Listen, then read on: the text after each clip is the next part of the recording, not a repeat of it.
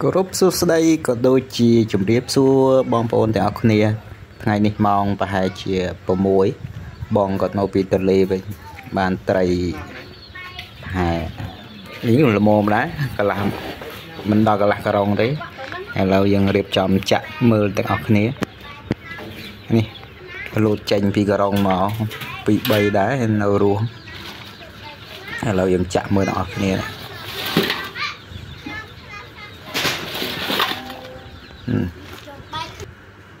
ហីច្រើនណាខ្លះមានខ្លះងាប់ហើយខ្លះរស់អឺយើងមានត្រីទក់មានត្រីដៀបអីហ្នឹងបាទនេះអេមដែរមកអេមដែរគាត់ទៅតាំងពីព្រឹកហើយមកវិញម៉ោងប្រហែលជា7ហើយហើយនឹងស្ងាត់ជ្រាបាទនេះគឺធំធំឆ្លោះឆ្លោះមក លោតចេញធំហ่ะនេះធំធំយើងចាប់ឲ្យរស់រស់ចេញ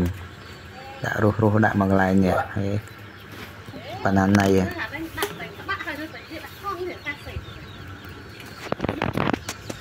រស់រស់យើងទុកម្លាយនេះយើងយកថង់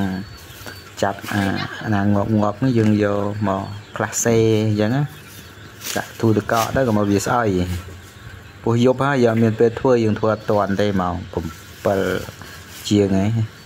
ហើយក៏ល្វើយដែរហ្នឹងហើយតែអញ្ចឹងទៅយើងចាប់ងាប់នេះមកផ្លាសេ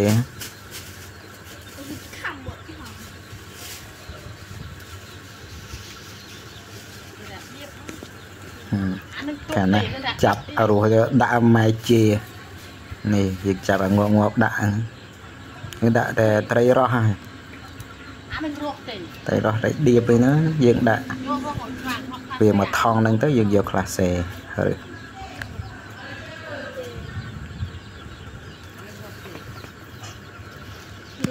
បាទនេះធំធំនេះយើងរើស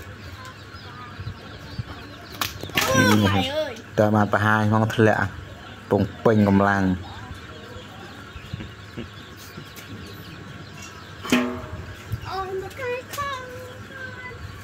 បាទនេះយើងរើសនិយាយរួមទៅវីដេអូនឹងកូនមានតែប៉ុណ្្នឹងទេអត់មានបង្ហាញពីការធ្វើត្រីធ្វើអីទៀតទេពោះនេះយើងយប់ដែរហើយម៉ោង7ហើយពេលអញ្ចឹងទៅយើងថតបានតែប៉ុណ្្នឹងហើយក៏សូមអរគុណសម្រាប់ការតាមដានទស្សនាដល់អ្នកគ្នាបើពេញចិត្ត Subscribe មួយទៅដើម្បីទទួលបានវីដេអូផ្សេងផ្សេងទៀតដែលយើងនឹងធ្វើការបង្ហាញ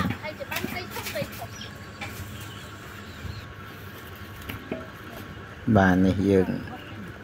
បានត្រីចកែងបានមួយដែរដាក់ខ្លះសេមកថងជាមួយគ្នា បាទវីដេអូមានតែប៉ុណ្ណឹងជម្រាបលាជួបគ្នានៅវីដេអូក្រោយៗទៀត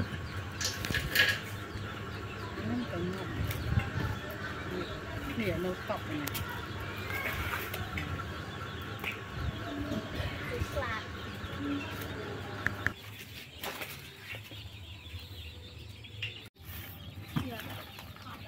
នេះចំហដល់ថ្ងៃ13ដល់ពេលចំហថ្ងៃ15ហ៎